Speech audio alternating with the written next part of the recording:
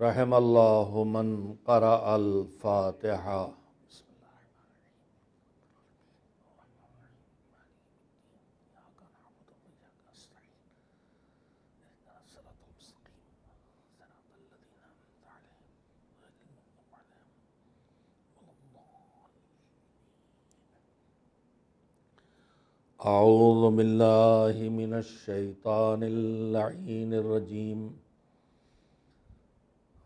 बसमीम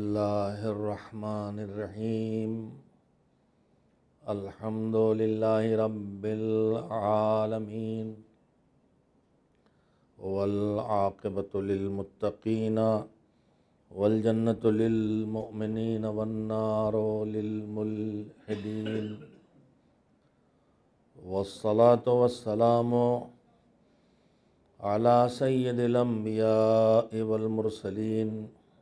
सैदना व नबीना व शफ़ीना अबिल कासिम महमद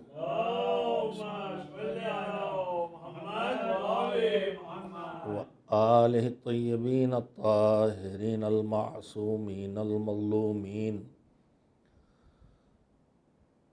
वल्लानतुद्दामतुलबाक़ियत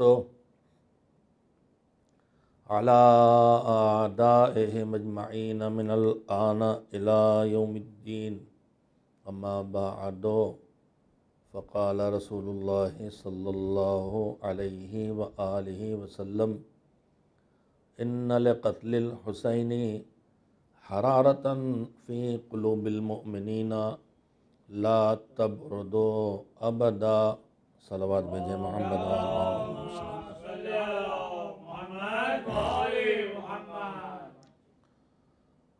करबला क्या सिखाती है? सुनवान से सिलसिला गुफ्तु जारी है। और सारा ख़ुलासा ये है कि करबला दीन सिखाती है, दीनदारी सिखाती है। करबला वो सिखाती है जिसे सिखाने के लिए एक लाख चौबीस हज़ार नबी आए थे, जिसके सिखाने के लिए अल्लाह ने अपनी आला तरीन मखलूक के आला तरीन लोगों को ज़िम्मेदार बना के भेजा था और वो था दीन दीन समझना, दीन अपनाना और दीन पर बाकी रहना।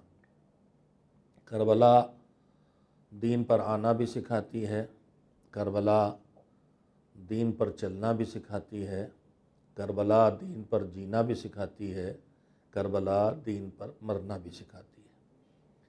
करबला बताती है कि ईमान से बढ़ के कुछ नहीं है। करबला सिखाती है कि बातिल के आगे सर झुकाना नहीं है, चाहे सर कटाना पड़ जाए। करबला बताती है कि अपने ज़मीर का सौदा नहीं करना है। अपने ईमान का सौदा नहीं करना है। अपने दीन का सौदा नहीं करना है, अपनी आखिरत का सौदा नहीं करना है, चाहे इनके मुकाबले में दौलत के अंबार मिलें, चाहे हुकूमत और इकतदार मिले, चाहे नाम और शोहरत मिले। मैं ये बातें इसलिए दोहराता हूँ कि आज दुश्मनान दीन सबसे पहला हमला जो करते हैं, वो दीन वालों से उनके दीन के सौदे का हमला करते हैं। अम्मामे वालों के पास आते हैं, आप मामा कितने में बेचेंगे?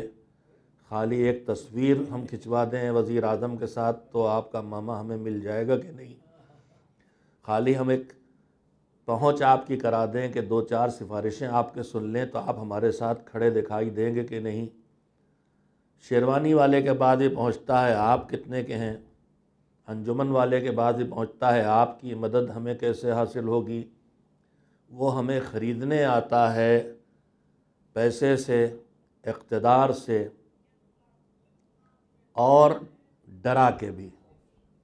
करबला तीनों बातें सिखाती है कि इन करबला वालों के पास ना आओ।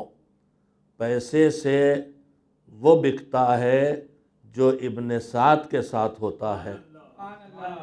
इकतदार के हवाले वो अपने आप को करता है जो हुर को नहीं पहचानता। दबाव में वो आता है जो मुस्लिम इब्न अकील जैसे यकता तनहा मुजाहिद को न जानता हो। दरबार में आके भी कहा जाए, ज़ख्मी और मजरू हालत में कि अमीर को सलाम कर। तो जवाब में मुस्लिम ने अकील के अलावा कौन कह सकता है कि ये मेरा अमीर नहीं है, मेरा अमीर तो मक्के में है।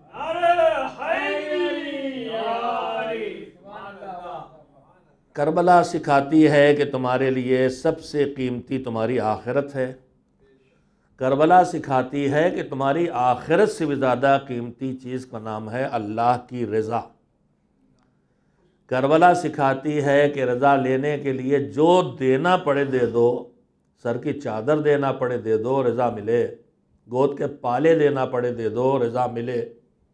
करबला सिखाती है कि किसी भी हालत में तुम्हारे कुनबे का सरबराह अगर दीन की राह पे चल पड़ा है, मैं अपनी बेटियों से, अपने बच्चों से कह रहा हूँ, अगर तुम्हारे घर का सरबराह दीन की राह में कुर्बानियाँ देने चल पड़ा है तो उसकी राह में रुकावट न बनना, उसके लिए मददगार बनना, चाहे वो छोटी सी बच्ची, सकीना हो, चाहे चाहने वाली बहन जैनब हो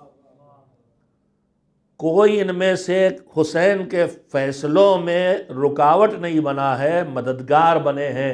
करबला हमारी हर फैमिली को सिखाती है, तावन अलल बिर व तकवा, वला तावन अलल इसम वलुदवान नेकियों में एक दूसरे की मदद करना, तकवे में एक दूसरे की मदद करना, अल्लाह की बारगाह में नाफरमानी करने अगर तुम्हारा बेटा भी चला जाए तो उसकी मदद न करना।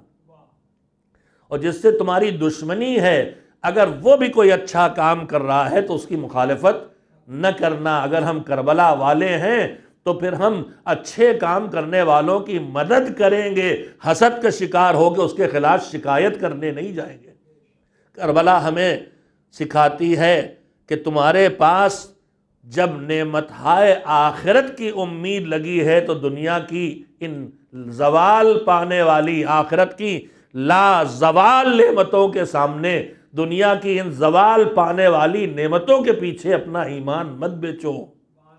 जब तुम्हारे पास हर वो दरवाज़ा खुला है कि जिस दरवाजे के आगे सबसे पहले रहमत खड़ी हुई है तो फिर रातों के सन्नाटे में उस दरवाजे पे जाके अपनी भीख मांगो। क्यों? हुक्काम के दरवाजे पे जाके अपने को बेआबरू करते हो। करबला हमें सिखाती है कि सब चला जाए, मगर ईमान न जाने पाए।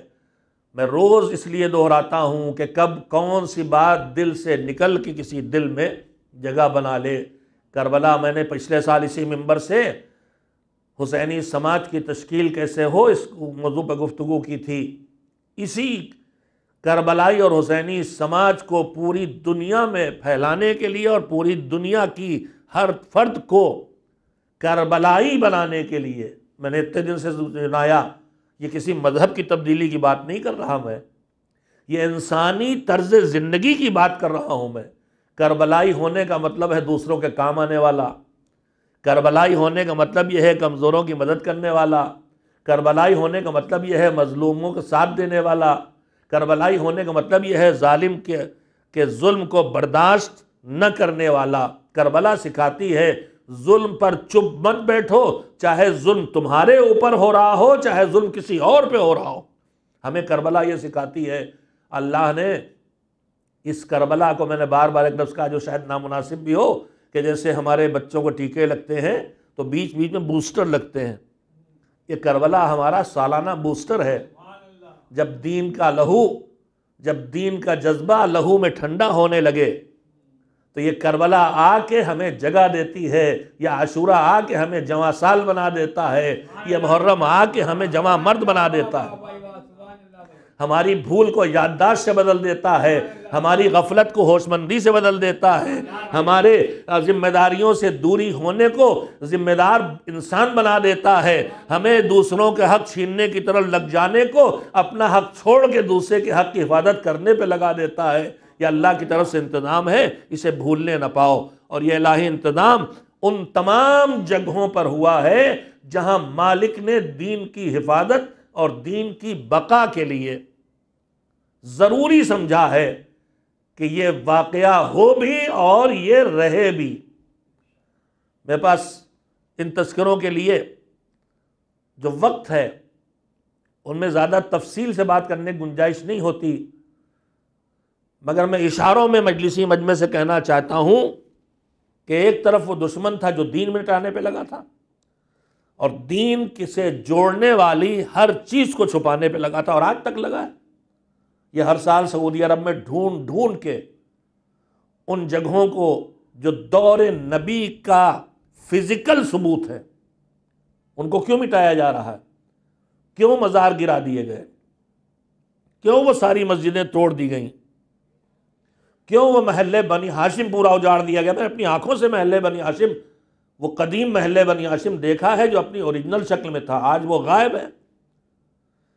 क्यों वो जगहें जहाँ अहल बैत की फजीलत का कोई तस्करा उस जगह से मंसूब था, उसे सड़क से बदल दिया गया, उसे बाथरूम से बदल दिया गया, उसे लाइब्रेरी से बदल दिया गया। पूरी दुनिया में, अभी गल्फ़ में खलीज में जाइए आप। अबू जबी में मैंने देखा जो हमारी मस्जिद है, मस्जिद जहरा, उसी के पास एक छोटा से महल्ला है, कच्चे मकान है वो। उसे महफूज कर लिया गया है। उसके इर्द गिर्द दीवार वगैरह बना के उसे महफूज किया गया है कि वो इसी शक्ल में बाकी रहे। क्या है? मालूम हुआ जो यहाँ के हुक्काम हैं, उनके जो बुज़ुर्गों के घर थे, उनकी हिफाजत की गई है ताकि हम अपने बुज़ुर्गों को न भूलें। और उनके कल्चर को, उनके रहाइश को देखते रहें और हमारी ज़िंदगी में उनका असर पड़ता रहे। तो अगर दुनिया में ये फितरत है, दुनिया में हर जगह जो कोई बहुत बड़ा गुजर जा, हमारे यहाँ महात्मा गांधी का इंतकाल हुआ, कौम को उन्होंने ग़ुलामी से नजात दिलाई थी, आज़ादी की राह दिखाई थी, अदालत की राह दिखाई थी तो महात्मा गांधी के इंतकाल के बाद उनकी हर चीज़ को महफूज करके रख लिया गया। उनका चश्मा, उनका आ, उनकी जो चप्पलें उनका करघा जो चीज़ भी उनसे दुनिया में होता है ये क्यों किया जाता है? इसके दो फ़ायदे होते हैं। एक तो वो यादें ताज़ा होती रहती है उसको देख के। और दूसरे सबूत रहता है कि ये कहानी नहीं है वाकया है। देखिए अगर महात्मा गांधी की सब चीज़ें रखी हैं तो कोई नहीं कह सकता कि महात्मा गांधी कोई नहीं थे। लेकिन अगर लाखों, हज़ारों साल के बाद इनमें से कुछ ना हो तो कोई आके इनकार भी कर बैठेगा, नहीं, कहानी गढ़ी तुम लोगों ने, ऐसा कुछ नहीं हुआ।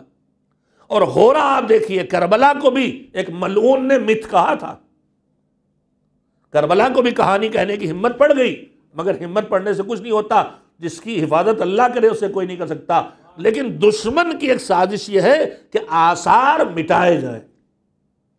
आसार मिटाए जाए। मदीन मुनवरा मक्का, जहाँ जहाँ अलामतें हैं, सब साफ़ कर दी गई। दुनिया में रखे जाते हैं आसार, हमारे यहाँ मिटाए जा रहे और फिर मैं वही अर्ज़ करूँ, अभी चंद बरस पहले, कई बरस से मुझे हज की तोफ़ी हासिल नहीं हुई। दुआ करें कि जिस मेरी लफ्जिश और गलती से अल्लाह ने मुझे हज से महरूम किया है, उस लफ्जिश और गलती तरफ़ मैं मुतवजह हो जाऊँ और मैं उससे तौबा कर लूँ, ताकि अल्लाह मुझे फिर अपने घर पे हज के लिए बुला ले। उम्र के लिए जाना अलग शरफ है। हज के लिए जाना अलग शरफ है। हज की कीमत का आप हमारा दादा नहीं लगा सकते। मौजू से जुड़ी बात नहीं है, लेकिन इंतहाई ज़िंदगी की काम की बात है, इसलिए करूँगा। हज की मंजिलत का अंदाज़ा हम नहीं लगा सकते। हमारी पूरी ज़िंदगी में साल भर तारीखें आती हैं, जिनमें रवायतों में लिखा हुआ है, यह मफफरत की शब है, यह रहमत की शब है, तोबा करो इस्तफार करो। मगर उन सारी रातों में, हम सब की निगाहों में मासूमीन अलैहिस्सलाम के बताने की बुनियाद पर जो बात बैठी हुई है, वो कौन सी रात है जो इस इस काम के लिए सबसे ज़्यादा अजीम रात है? इबादत की रात, मगफरत हासिल करने की रात, रहमत तक पहुँचने की रात, अपनी दुआएँ कबूल कराने की रात। सारी शबें जो बताई गई, शब जुमा से लेके शब बेसत व नीमा शाबान तक, सब की फजीलत है। मगर इन सब में सर फहरिस्त जो रात है, वह है शब कद्र। तेईसवीं माह मुबारक रमज़ान। छठे इमाम हज़रत जाफ़र सादिक सलाम जुमला सुनिए। ने इरशाद फरमाया, हमारे दरमियान फ़लसफ़े ईजाद होने लगे। हैं कुछ लोग ऐसे ज़रूर कि जो साल भर मसलन बेशुमार ज़्यारत उम्र पर ख़र्च करते हैं लेकिन उन्हें ख्याल नहीं आता कि हमारे पड़ोस में कोई गुर्बत ज़दा बच्चा है, लाओ इसे पढ़ाने का भी इंतज़ाम कर दें। ये उनकी कोताही है।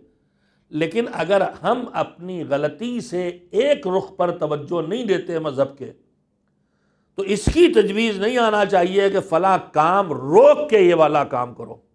मसला मजालिस में तबरुक बट रहा है। तबरुक में हमें ख्याल रखना चाहिए कि इस्लामी असूलों के ख़िलाफ़ ना हो, ज़ाया ना हो, इस तरह न दें कि फ़िके, इस तरह न दें कि इसराफ हो, इस तरह न कि घरों में जाके ज़ाया हो, ये सब ख्याल करना चाहिए हमें। लेकिन तजवीज़ें उठने लगती हैं कि तबरुक में लोग कैलकुलेट करके इतने करोड़ खर्च हुए हैं, ये बचा के कॉलेज खोल दिए जाते। ये न कीजिए। उम्र जाना रोक के आप कॉलेज न खुलवाइए। जियारतें रोक के आप मदरसे न चलवाइए। तबर्रुक को का खर्चा कम करके आप यतीमों की सरपरस्ती न कराइए। यहाँ से काट के लगा, वहाँ लगाने वाले आप कौन होते हैं? आपके ज़िम्मेदारी है कि इसे भी संभालिए, उसे भी संभालिए। आप बैलेंस रखिए अपने वजूद को। लेकिन ये तजवीज़ें नहीं आना चाहिए कि इसे रोक के वो किया जाए, उसे रोक के वो किया जाए। अगर इसे रोक के उसे करना होता, उसे रोक के इसे करना होता तो अल्लाह ने उसे रखा ही ना होता जिसे हम रोकने जा रहे हैं।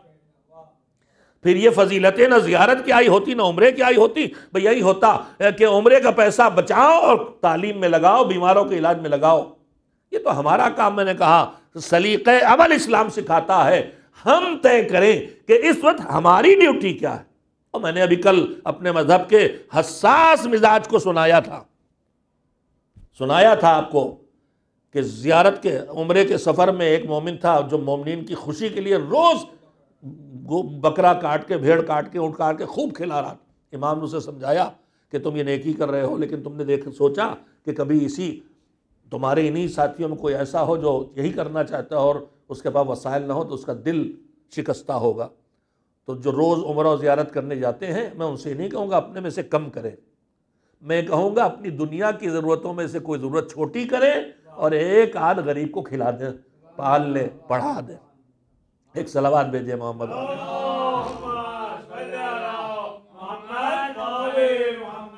एक और सलावाद इससे बेहतर तो भेज दे मोहम्मद।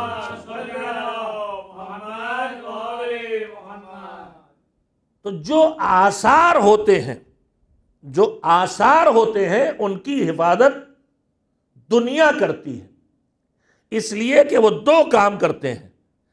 एक आसार देख के जिनके आसार हैं, उनके अंदर जो जज्बा था, उस जज्बे का एहसास कराते हैं और हमारे अंदर भी वो जज्बा पैदा करते हैं।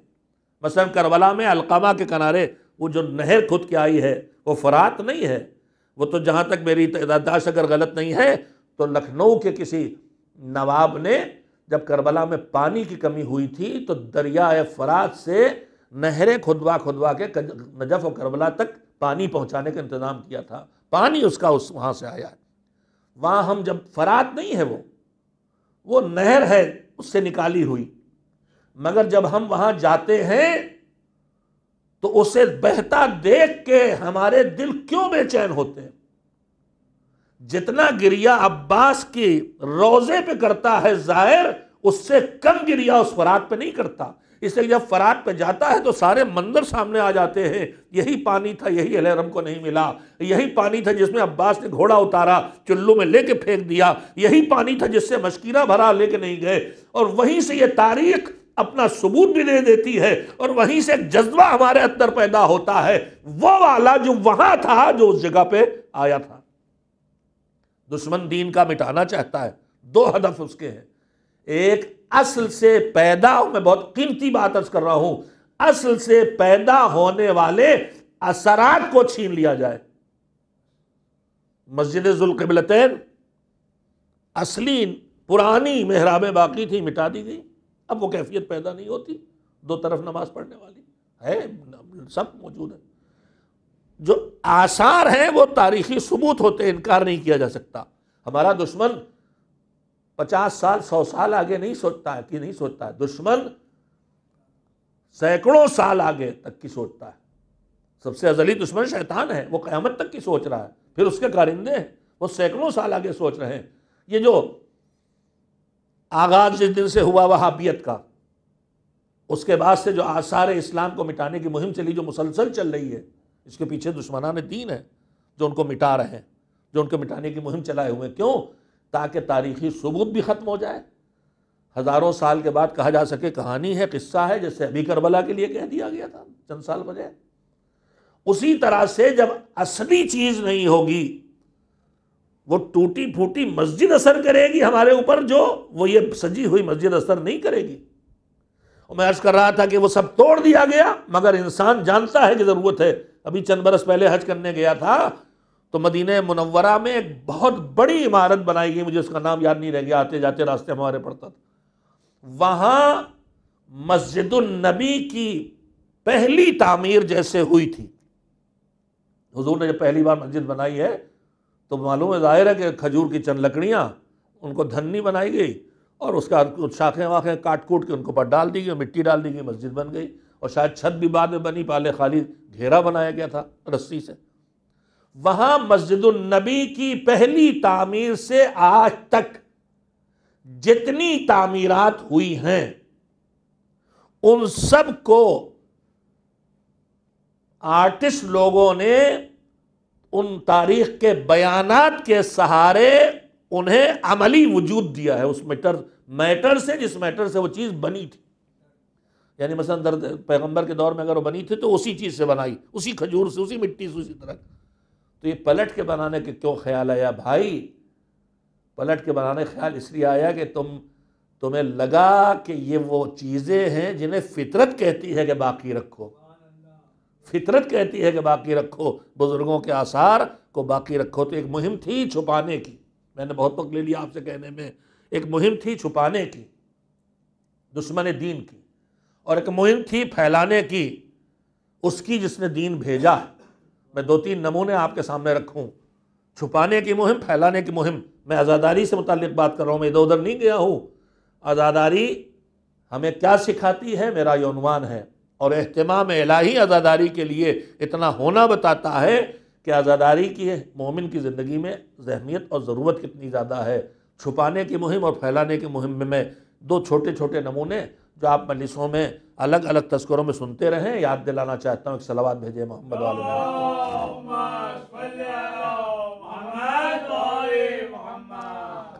दुनिया में बच्चे पैदा होते हैं।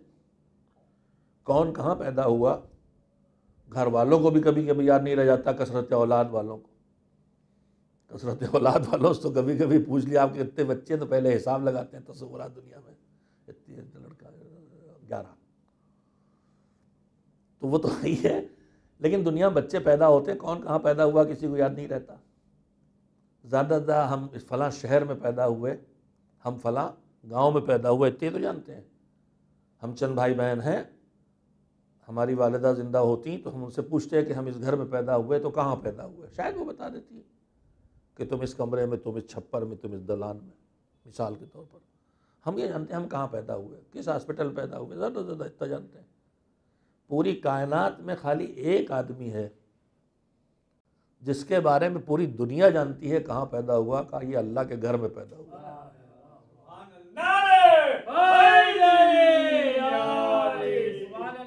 अल्लाह के घर में पैदा हुए, दुश्मन लग गया पीछे कहानियाँ गढ़ी, इनकार किया, सब किया, मगर आज तक झुटलाया ना जा सका। क्यों? इलाही इंतज़ाम था। ये बताइए जनाब फ़ातिमा बिनते असद, पैदा होना ही एक अलग से अहतमाम है। खान काबा में पैदा होना ही एक अलग से अहतमाम है, मगर अलग से अहतमाम पैदा होने का अलग चीज़ है और उस अहतमाम का बाकी रखना कि दुनिया क़यामत तक जानती रहे कि अली काबे में पैदा हुए थे। ये एक अलग इंतज़ाम। और उसका नमूना हल्का से महसूस कर लें। अगर जनाब फ़ातिमा बिनत असद आई थी और तकलीफ़ थी और बासता दे रही थी और अल्लाह को यही शरफ देना था मौला अली को कि पैदा हो जाए, खाने काबा के अंदर पैदा हो जाए तो ताला टूटता। खुलता खुद से, दरवाज़ा खुलता, आओ, फातिमा अंदर आ जाओ। मगर ये तो हुआ नहीं। फातिमा तवाफ़ कर रही, दुआ कर रही, तवाफ़ कर रही, दुआ कर रही, आखिर में जब पीछे पुष्ट काबा में जाके फिर से दुआ की और वास्ते दिए और वास्ते में उस बच्चे का वास्ता भी दे दिया, जो पेट में है माँ के, वह वहीं दरवाज़ा खुल गया। इधर पत्थर हटा, फातिमा अंदर गई और उधर पत्थर फिर वापस।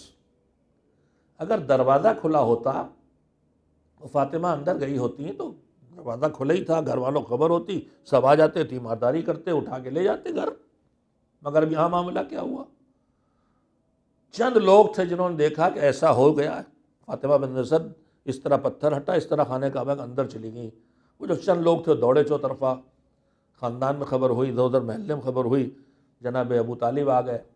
अब जनाब अबू तालिब आए, चाबी लगाई, ताला खोला, खुलते ही नहीं। ये लीजिए तमाम हो रहा नहीं हो रहा। खुल जाता, मिल जाते अली, लेके चले जाते, चार लोग जानते, किस्सा ख़त्म हो जाता। अबू तालिब जानते घर वाले जानते, महल्ले के चंद लोग जानते। और तो न देखता कोई ना। अब उसके बाद अबू तालिब आए, ताला खोलने की कोशिश की, नहीं खुला। और नहीं खुला तो नहीं खुला। एक दिन, दो दिन, तीन दिन ताला नहीं खोलो, खुला ही नहीं। यहाँ ताला खुलना ही नहीं है। जहाँ दीवार में दर बना था, वहीं दर बनना है। अच्छा अब जो एक दिन में ताला नहीं खुला तो दिन भर में जो ताला खोल रहे हैं, खुल नहीं रहा। फातिमा बिनते असद अंदर है, अबू तालिब की सोचा अच्छा अबू तालिब कोई नामानूस आदमी भी नहीं है गैर मारूफ आदमी भी नहीं है, दुनिया जानती कौन है? सैद बथा है ये। इनसे ज़्यादा मुआज़ शख्सियत इस वक्त अरब माशरे में नहीं है, उनकी बीवी उसमें बंद है, ताला खोलने खुलते ही नहीं। अब ये बात कहाँ थी पहले? चार लोगों ने देखा था वहाँ। चार लोगों से निकल के चार घरों पहुँची। चार घरों पहुँच के महल्ले महल्ला घूमना शुरू हुई। मान लेता हूँ मैं कि मक्के में खबर फैल गई। और जैसे जैसे खबर फैलती है तो बताइए, ऐसी अनहोनी की खबर सुन के आदमी घर बैठा रहता है या देखने निकलता? चले देखे, हुआ क्या? चले देखे, हुआ क्या? तब इस महल्ले में खबर गई, उस महल्ले में गई। हर महल्ले से लोग आ गए हाँ भाई, ताला पड़ा है, और खोलने खुलते ही नहीं, खोलने खुलते ही नहीं।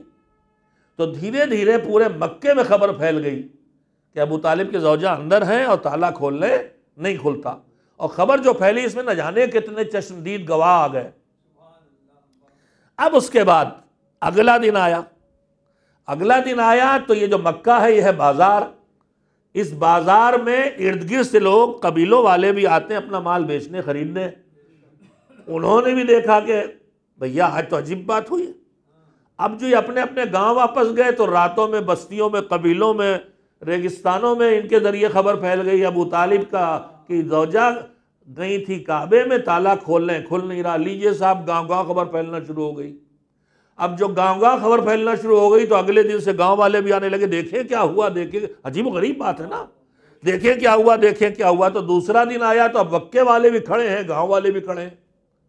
दो दिन हुए, ये गाँव वाले वापस गए तो अगले दिन और इलाके तक फैल गया मामला। अब जो तीसरा दिन आया तो पूरा मक्का भी देख रहा, अभी तक नहीं खुला। इधर उधर के कबीले वाले भी देख रहे हैं, अभी तक नहीं खुला। बड़ी भीड़ है और ये सब देख रहे हैं कि ताला नहीं खुला वो तालिब खोल ले नहीं खुलता। कि एक मरतबा इस सारी भीड़ में जिसमें मक्के के हर कबीले का आदमी है, जिसमें मक्के के इर्द गिर्द के कबीलों के लोग खड़े हैं सबने देखा, सैयद रसुल सर झुकाए चले आ रहे हैं और दरवाजे की तरफ़ आने की बजाय पुष्टे दर पे जा रहे हैं। उन्हें पता है कहाँ से गई, कहाँ से निकलेंगी। गए, जाके हाथ उठाए हैं, दरवाज़ा खुला। फातिमा बिनते हसन निकली, गोद में अली रसूल के हवाले किए। चारों तरफ़ मक्के के भी गवाह खड़े हैं इर्द गिर्द के भी गवाह खड़े हैं। कहानी फैल गई, अबू तालिब का बेटा काबे में पैदा हुआ।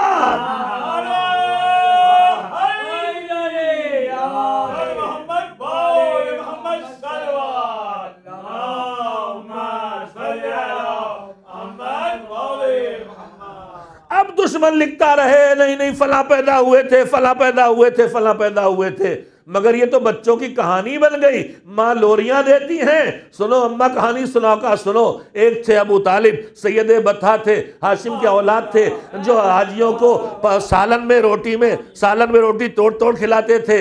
इनके ज़िम्मेदारी ज़िम्मेदारी इनकी ज़िम्मेदारी मक्के में आने वाले हाजियों को खाने पानी का इंतज़ाम करना था। ये अबू तालिब बड़े सखी थे जैसे कहानी माए सुनाती हैं। अब अबू तालिब के फजाइल भी बयान हो रहे हैं। और उनकी एक बीवी थी, उनका नाम था फातिमा। और उनके बच्चे जो पैदा हुए, सब घर में पैदा हुए, मगर छोटा बेटा पैदा होना था तो आ गई काबे और आके दुआ की और यूँ पत्थर हटा और यूँ अंदर गई और यूँ ताला, दरवाज़ा बंद हुआ और यूँ ताला नहीं खुला और यूँ रसूलुल्लाह आए और यूँ अली पैदा हुए और यूँ रसूल की गोद में आए और यूँ तिलावत कुरान की अब मिटाओ कहाँ कहाँ मिटाओगे?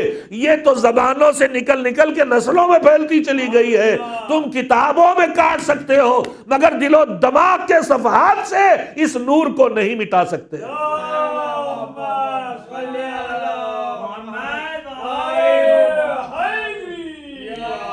ये अहतमाम इलाही के अलावा क्या है? नमूने और भी हैं मगर वक्त ख़त्म हो गया। मरबूत कर सका तो कल फिर अर्ज़ कर दूँगा इस नमूने और नमूनों को। मगर जो नमूने अल्लाह ने रखे अहतमाम किया, उन्हीं में एक अहतमाम है कि छुपने न पाए, उस अहतमाम का नाम है करबला। करबला का वाक़ गदीर और बेसत के हम पल्ला है। मैंने अर्ज़ किया था, तीन तस्करे हैं जो वाक़ बाद में गुजरा है, वो वाक़ बयान पहले से हो रहा है। एक है बेसत एक है जहूर हज़रत महदी अज्जल फरज शरीफ। और एक है करबला और आशूरा। ये तीनों चीज़ें हुई बाद में आज जहूर के बारे में हमारी जानकारियाँ कितनी ज़्यादा हैं, आप खुद सोचिए, अभी वाक्य नहीं गुजरा। किताबें लिखी हुई हैं, कैसी हुकूमत होगी, कैसा निज़ाम होगा, जहूर से पहले के क्या हालात होंगे, क्या कितनी तफसील हमारे पास है? इलाही इंतज़ाम के अलावा और कुछ है भी? वाक़ कहाँ गुजरा है? मगर सब तफसीलात हमारे पास। ये ला इंतज़ाम है उसकी तरफ़ से। तो तीन वाक़ात का अहतमाम करबला में जो कुछ हुआ था, सुबह से शाम तक एक घर उजड़ गया। सारे मर्द मार डाले गए। बच्चे तक शहीद हो गए। बीवियाँ कैदी बना दी गई। इन्हें चुपके से ले जाके कैद खाने में डाला जाता है। इन्हें भी वहीं मार दिया जाता। कुछ भी किया जा सकता था। मगर हुआ क्या? हुआ यह कि इंसान, आप सोचिए, हम बार बार कहते हैं बीमार करबला। और यह भी याद रखिएगा, बीमार सिर्फ़ बीमार करबला थे।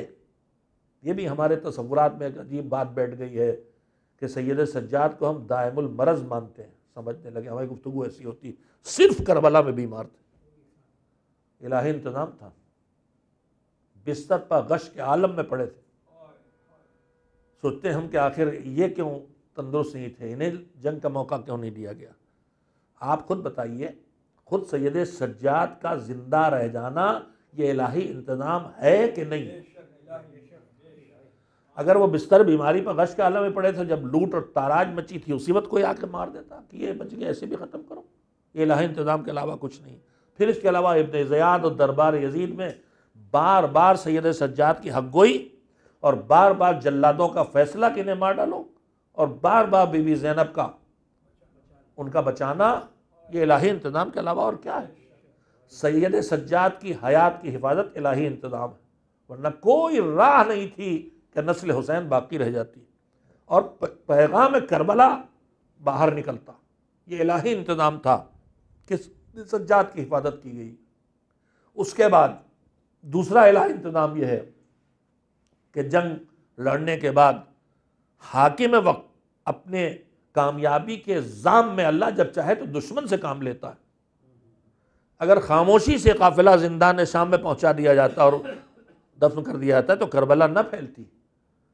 तो फिर ये जो शोरिश जगह जगह उठी, जो जगह जगह इनकलाब बरपा हुआ, जो कोफे से लेके शाम तक, और फिर हुकूमतें बेचैन हो गईं, और यहाँ तक कि इसी करबला ने बनी उमैया की हुकूमत को पलट दिया। तख्ता पलटा। ये बनी अब्बास जो है, बनाम करबला है। बनी अब्बास की हुकूमत आपको पता होगा कि यही कह के उठे थे कि ये बनी उमैया कातिल हुसैन है। इन्हें हम हटाने आए हैं और खून हुसैन का इंतकाम लेने आए और हमारे अंदर इतनी बसीरत होना चाहिए कि हम पहचाने कि कहाँ सही चीज़ को, सही ज़रिए को गलत मकसद से इस्तेमाल किया जाता है। हम धोखा खा जाते हैं। जंग सिफीन में नैज़ा पर कुरान उठा था? नहीं। मुसलमानों ने धोखा खाया कि नहीं? लिहाजा हम न कभी मेंबर के नाम पे धोखा खाएँ। अरे साहब, मेंबर है। अब कैसे? देखिए तवज्जो दें। मेंबर से कोई कुछ कह के चला जाए। साहब, मजलिस है, मेंबर है, हम क्या करें? यही तो नज़रिया वहाँ सिफीन में था। कुरान है, नज़े पे है, हम क्या करें? मगर वो मेंबर जिस पर से हक नहीं बयान हो रहा था दरबार शाम में, उस मेंबर के लिए सैद सज्जाद ने लफ्ज़ क्या बोले थे? कहा था, इस लकड़ी पे जाके बोलूँ मैं। तो इस ढांचे का नाम मेंबर नहीं है। इस ढांचे का नाम नहीं, उस पैगाम से जगह मेंबर बनती है। तो हमें होशमंद होने की ज़रूरत है। करबला में, करबला से कूफा शाम के बाज़ारों में जो दुश्मन ने फिराया इलाह इंतज़ाम है, ले जाके कैद खाने में डाल देते सुकूत से डाल के उनकी ज़िंदगी भी ख़त्म कर देते करबला दफन हो जाती। मगर अपनी फतह के जाम में जो उनके रास्ते रास्ते को तूलानी किया गया और गुजारा गया जगह जगह से, लोग देखे कि हमने इन्हें मार डाला। लोग देखे उनके सरों को नज़रों फिराया गया। हमने फतेह हासिल कर ली, हम कामयाब हो गए। अपना रोब बिठाने के लिए हुकूमत ने जो अपने ख्याल में तदबीर की थी, अपनी हुकूमत की मजबूती की, वही उसके तजल्जुल का सबब बन गई। ये लाही इंतज़ाम नहीं तो और क्या है? और फिर करबला ख़त्म नहीं हुई, दुश्मन पैदा होते रहे मिटाने वाले, मगर ख़त्म नहीं हुई। आज जो हम आज़ादारी कर रहे हैं, ये आज़ादारी किन किन हालात से गुजरती हर साल कोई ना कोई मसला खड़ा होता है। इस साल अजाब इलाही की शक्ल में मसला खड़ा हो गया। मगर आप बताइए, जितनी रुकावटें खड़ी होती हैं, उनके अतबार से इसे मिट जाना चाहिए था नहीं? लेकिन मिटने के बजाय पनप रहा है। जहाँ कुछ कम होता, वहीं कुछ बढ़ जाता है। हमारे इमाम बाड़ों की मजलिसें कम हुई हैं तो हमारी मजलिसें उससे कई गुना बढ़ गई। अगर इमाम बाड़ों में आके सुनने वाले गैदरिंग घट गई तो हज़ारों लोग घटे होंगे तो लाखों सुनने वाले हो गए। लाखों घटे हैं तो करोड़ों सुनने वाले हो गए। मेरे अजीज़ों मैं बात को ख़त्म करते हुए अल्लाह ने जो करबला की हिफाजत की है, उसका मकसद वही है कि करबला दीन है, करबला दीन की हयात का ज़रिया है। हमारी ज़िंदगी में हयात लाने के लिए आखिरी जुमले दो कहना चाहता हूँ। कल इसकी वजाहत करूँगा इन बना में अज़ा। हम जो कुछ करते हैं, उसके दो हिस्से हैं। एक वो जो हमारे गमजदा होने का तकाजा है। गिरिया। जब हाँ दिल पे मुसीबत का एहसास होगा आँख से आँसू निकलेंगे। रोना सिसकियाँ लेना आँसू बहना बेचैन आदमी ज़्यादा हो तो सरो सीना पीटना जहाँ शरीयत ने पाबंदी लगा दी इजहार गम के भी अल्लाह ने हर जगह हदें मुन की हैं। एहतराम की हदें तज़ीम की हदें माँ बाप का एहतराम करो आलिम का एहतराम करो इमाम का एहतराम करो रसूल की ताज़ीम करो रोज़े की ताज़ीम करो सब की ताज़ीम करो। ताज़ीम के जो ज़रिए हैं वो इख्तियार करो। कहीं सर झुकाना, कहीं सीने पे हाथ रखना, जो तरीके फितरत में है, वो सब इस्तेमाल करो, हमारी तरफ़ से कोई पाबंदी नहीं। मगर इजहार तालीम और एहतराम की हदें कर दी। का इजहार तालीम और एहतराम की आखिरी हद है सजदा। जिसका जैसे चाहे एहतराम करो, लेकिन दो इजहार तालीम के ज़रिए है, एक है रुकू और एक है सजदा। अल्लाह ने कहा यह मेरी ज़ात के लिए ख़ास। इसके ज़रिए सिवाय खुदा के और किसी के लिए इजहार तज़ीम नहीं कर सकते। हर जगह उसने हद हदी रखी है, बोलो, जो चाहे बोलो। गुफ्तगु करो, तुम्हें छूट है, लेकिन हदे है। गुफ्तगु करो, तब तक बोलो, जब तक कि गीबत पे ना आए जबान, अब रोकना पड़ेगी। बोलो, जब तक कि किसी मोमिन की तोहिन पे ना आए, अब रोकना पड़ेगी। निगाहें देखो, जो चाहो देखो, सब्जा देखो, समंदर देखो, परिंदे देखो, फ़िल्म देखो, जो चाहो देखो। मगर उस वक्त तक देखो, जब तक कि तुम्हारी निगाहें किसी हराम की मुर्तकब ना हो, ना महरम पे निगाह टिकने लगे, झुका लो तो हदें मुन कर दी। तो हर अमल की हदों के अंदर रखता है मज़हब हमको, और वो हमारे मफाद के लिए इजहार तदीम में भी अमल को हदों जैसे चाहो इजहार तदीम करो। चूमो, सर झुकाओ गर्दन गले मिलो, दामन पकड़ लो आँखों पे हाथों को रख लो, किसी चीज़ पर पाबंदी नहीं। लेकिन जो खास अल्लाह ने अपने लिए कर लिया, वो न करो। मैं आपसे कह क्या रहा था?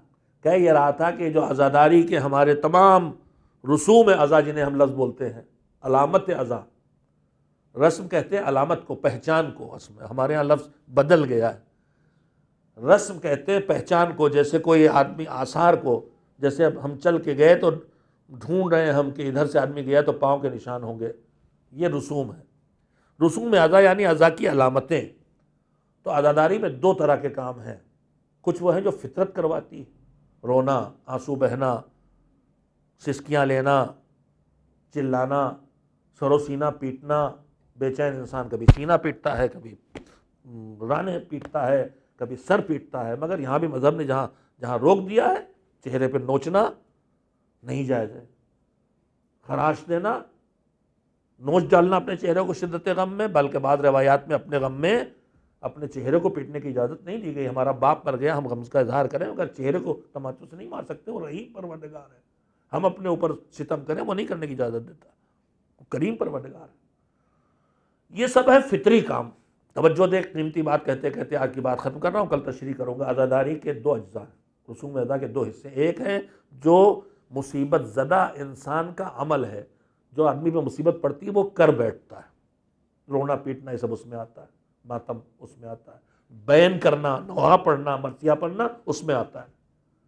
मजलिस पढ़ना, बोलना, अरे फला मेरे बाबा का इंतकाल हो गया, ऐसे थे। मजलिस ये ये सब फितरी चीज़ें हैं। ये गम का तकाजा है। मुसीबत ज़दा होने का सबूत। इसके लिए किसी दलील की ज़रूरत नहीं है। गम को उसने हुसैन की अज़ा पर मुस्तहबात अहकाम आए हैं, अज़ा करो।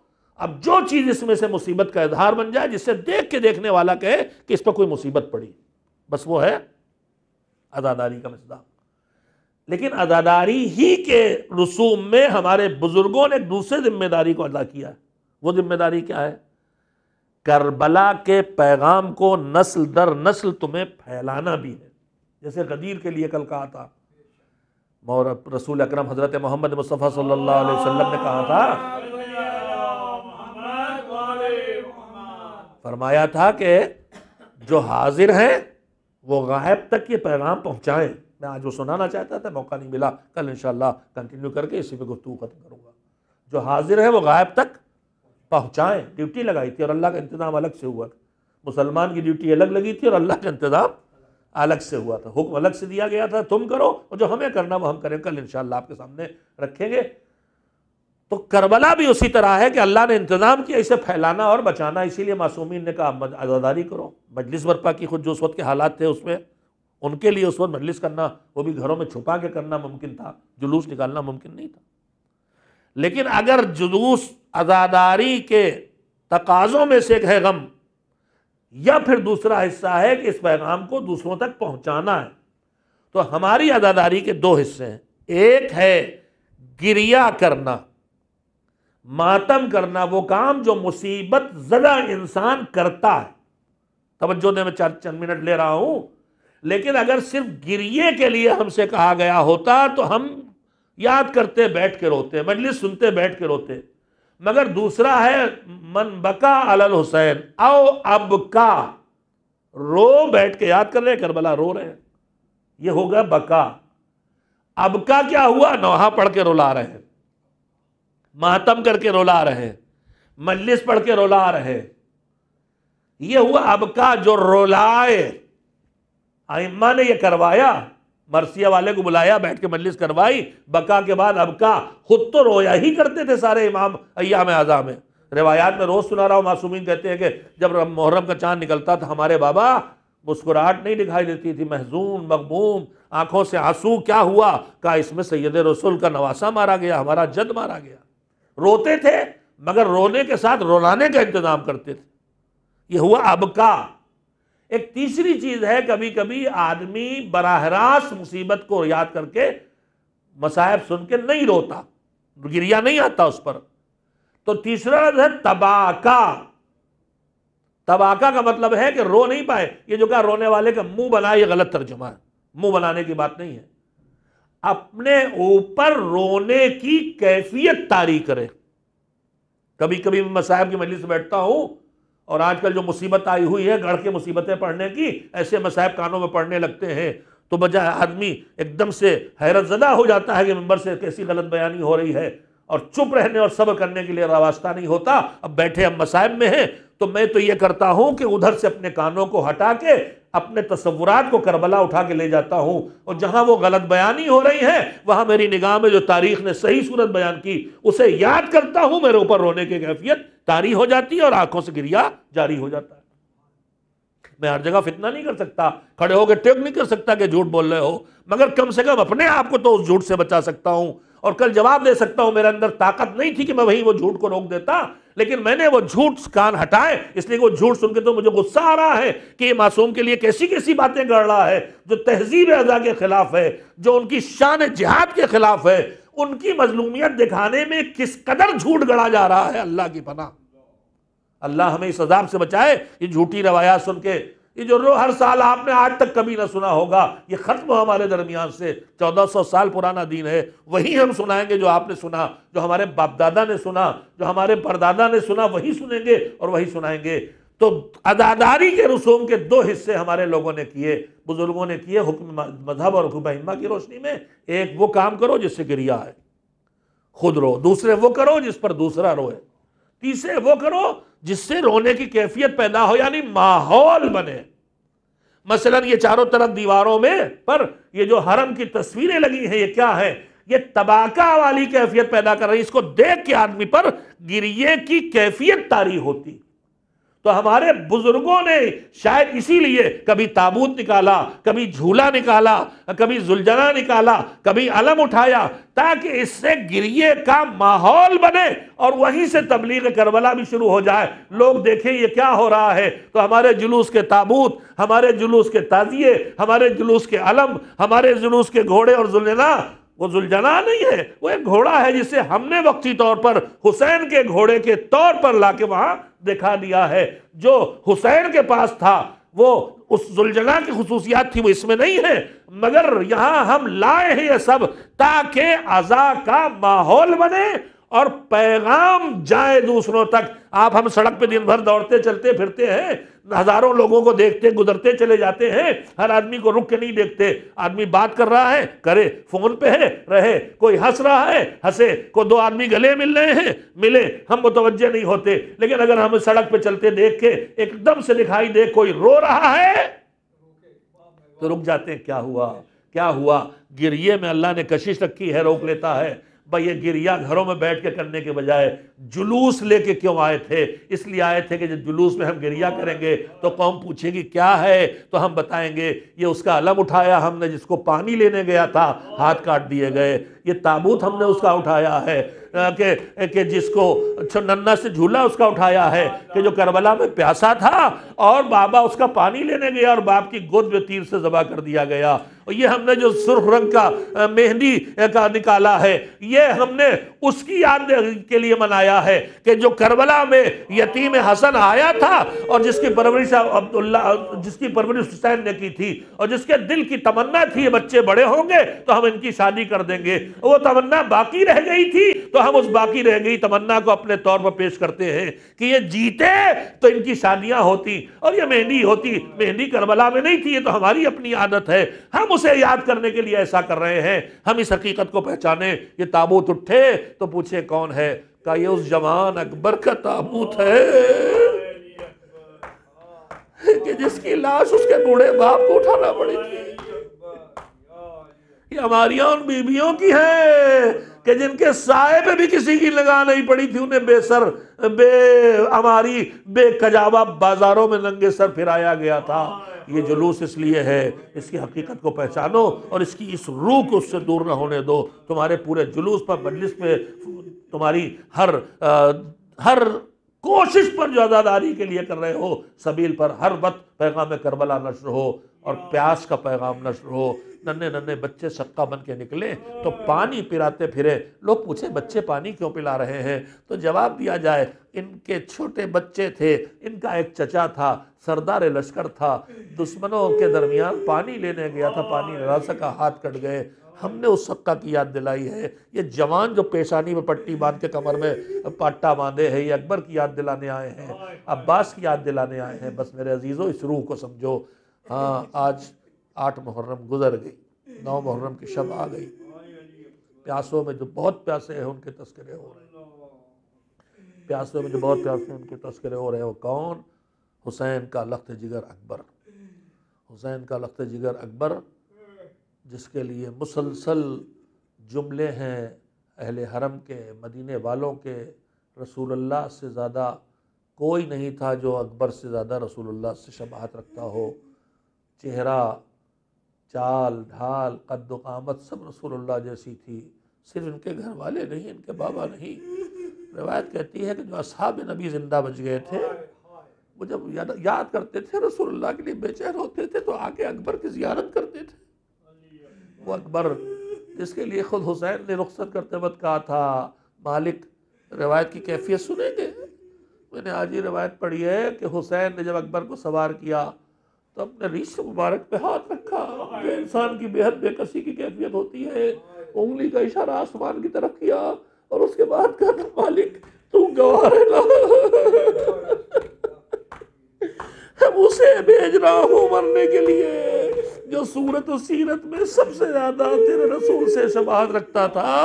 और जब मेरा दिल बेचैन होता था वजारत रसूल के लिए तो मैं इसी अकबर का चेहरा देख लिया करता था।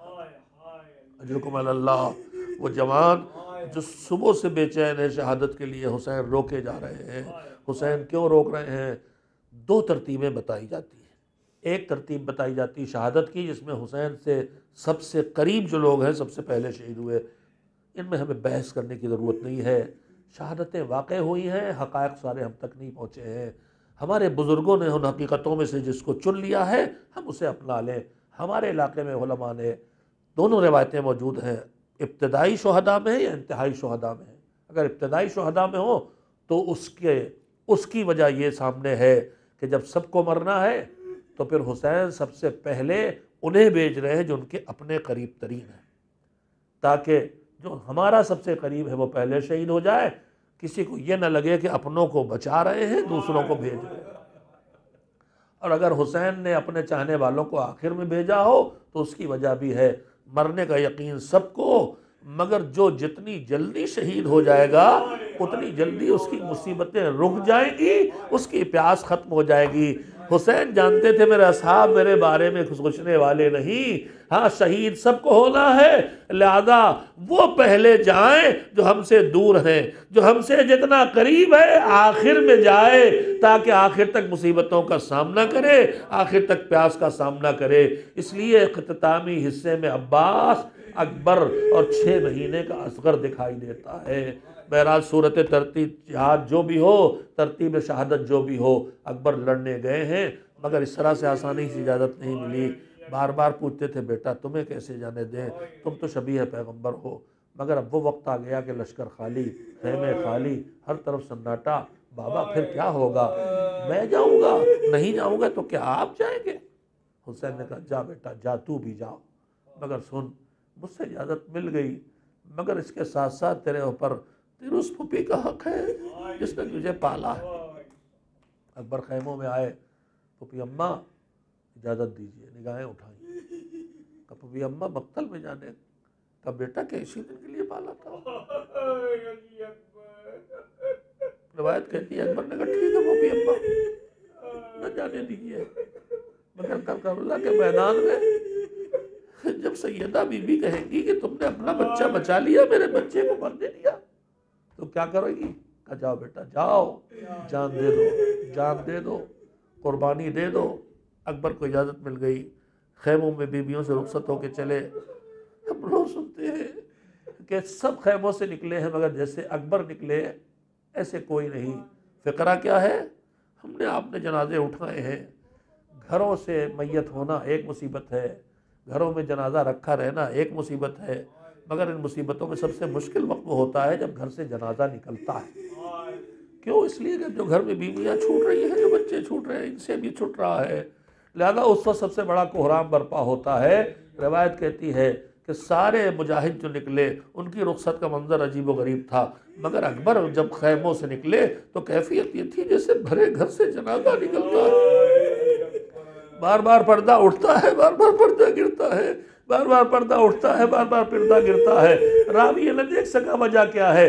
मगर खरबों के अंदर की कैफियत बता रही है अगर बीबियाँ रोक रही होती है अकबर को आ, तो कैसे कैसे? अरे बात समझे हम आप? शायद वजह यह थी कि अकबर जब बढ़ने लगते हैं तो एक मरतबा जैनब कहती है बेटा जा रहा है। मगर एक बार और गलेजे से लगा ले। एक मरतबा जैनब के गलेजे लगे फिर बढ़े। एक मरतबा ने बाजू पकड़ा। बेटा जा रहा है। एक बार और गलेजे से लग जा।